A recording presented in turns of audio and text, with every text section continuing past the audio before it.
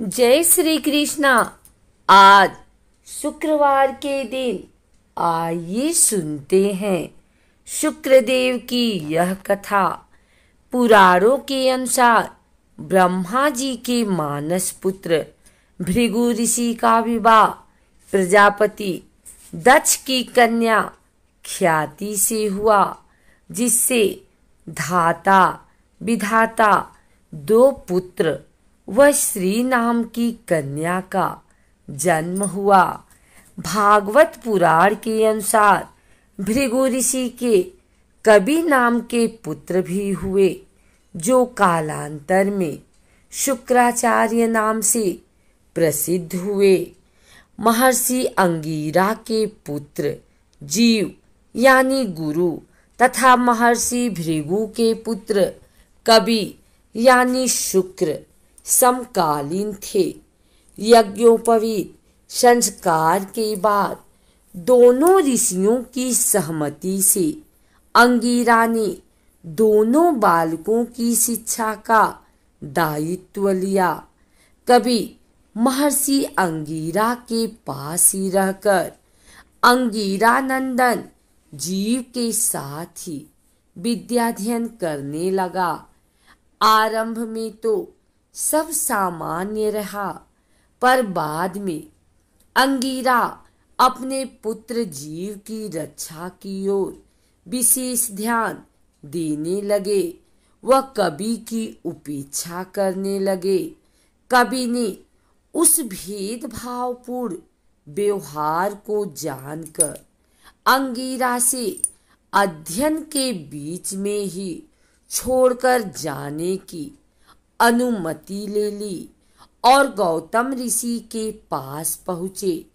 गौतम ऋषि ने कवि की संपूर्ण कथा सुनकर उसे महादेव की शरण में जाने का उपदेश दिया।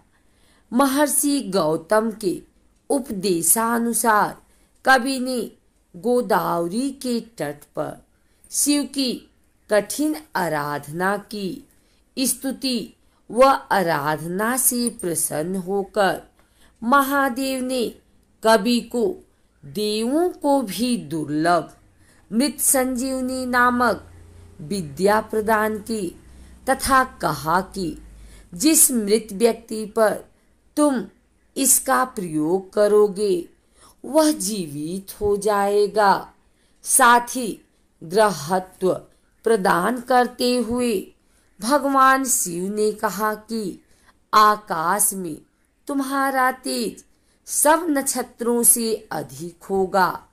तुम्हारे उदित होने पर ही विवाह आदि शुभ कार्य आरंभ किए जाएँगे। अपनी विद्या से पूजित होकर भृगुनंदन शुक्र दैत्यों के गुरु पद पर नियुक्त हुए।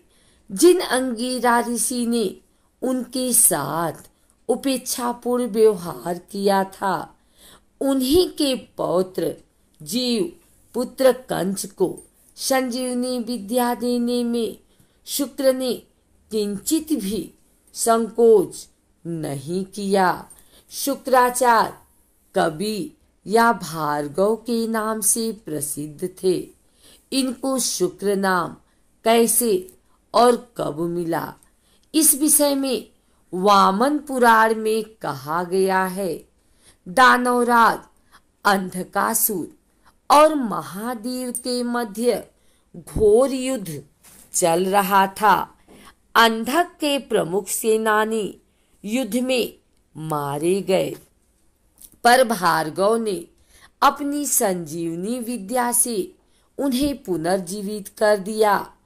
पुनः जीवित होकर कुजम्भ आदि दैत्य फिर से युद्ध करने लगे। इस पर नंदी आदि गढ़ महादेव से कहने लगे कि, जिन दैत्यों को हम मार गिराते हैं, उन्हें दैत्य गुरु संजीवनी विद्या से पुनः जीवित कर देते हैं। ऐसे में हमारे बल पौरुष का क्या महत्व है? यह सुनकर महादेव ने दैत्य गुरु को अपने मुख से निगलकर उदरस्त कर लिया। उधर में जाकर कवि ने शंकर की स्तुति आरंभ कर दी, जिससे प्रसन्न होकर शिव ने उनको बाहर निकालने की अनुमति दी। भार्गव श्रेष्ठ एक दिव्य वर्ष तक महादेव के उदर में ही विचरते रहे, पर कोई छोर न मिलने पर पुनः शिव स्तुति करने लगे। बार बार प्रार्थना करने पर भगवान शंकर ने हंसकर कहा कि मेरे उदर में होने के कारण तुम मेरे पुत्र हो गए हो, अतः मेरे शिष्य से बाहर आ जाओ। आज से समस्त चराचर जगत में तुम शुक्र के नाम से ही जाने जाओगे। शुक्रत्व पाकर भार्गव भगवान शंकर के शिष्य से निकल आए और दैत्य सेना की ओर प्रस्थान किए। तब से कभी शुक्राचार्य के नाम से विख्यात हुए। ज्योतिष शास्त्र में शुक्र का कारक भी शुक्र ग्रह को ही माना जाता है।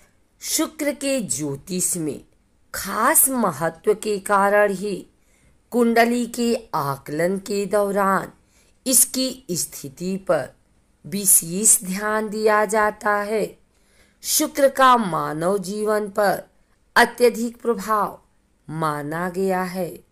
ऐसे में ज्योतिष के जानकारों का कहना है कि शुक्र ही वह ग्रह है जो यह बताता है कि किस व्यक्ति के जीवन में कितना सुख, प्रेम व संपन्नता आएगी। ज्योतिष के अनुसार शुक्र ग्रह ही व्यक्ति के भौतिक, शारीरिक और वैवाहिक सुखों का आधार है। इस ग्रह को दो राशियों, क्रमशः वृषभ और तुला राशि का स्वामित्व प्राप्त है, जबकि यह देवगुरु बृहस्पति की राशि मीन में उच्च माना गया है। वहीं ग्रहों के राजकुमार बुध की राशि कन्या में यह नीच स्थिति में माना जाता है। बुध और शनि ग्रहों से मित्रता रखने वाले शुक्र की सूर्य और चंद्रमा से शत्रुता मानी गई है। ज्योतिष के मुताबिक शुक्र ग्रह का कुंडली के लग्न भाव में होना, जातक को रूप रंग से बेहद सुंदर व आकर्षक बताता है।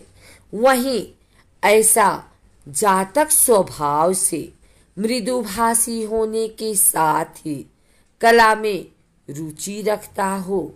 इसके अलावा शुक्र का कुंडली में मज़बूत स्थिति में होना, जातक के प्रेम व वैवाहिक जीवन को सुखमयी बनाता है। ऐसे में यह एक और जहाँ पति पत्नी के बीच प्रेम की भावना को बढ़ाता है।